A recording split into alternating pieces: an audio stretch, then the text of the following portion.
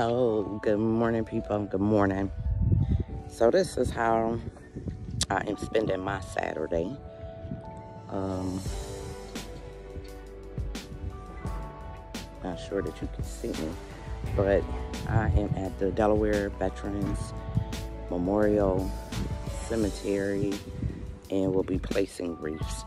So just waiting on a few of my coworkers and we'll get started. So good morning, guys. Good morning. Suburban Propane. The girls are doing the good deed.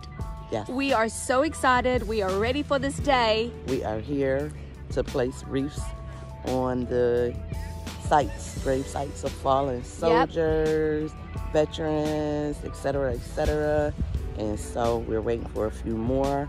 Yep. But the turnout is great. Gonna flip you around. Maybe. I don't know how. so no, I'm not gonna flip you around.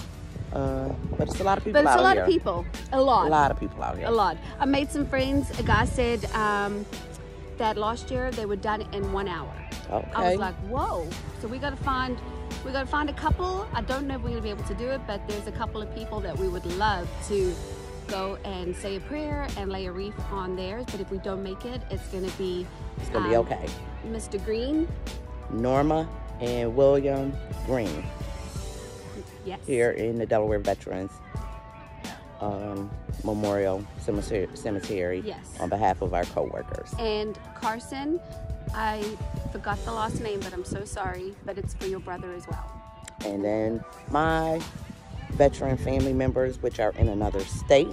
Yep. But unfortunately, I can't be there, so I'm here in Delaware because someone else is in New York State doing it on my behalf. Teamwork makes the dream work. Oops.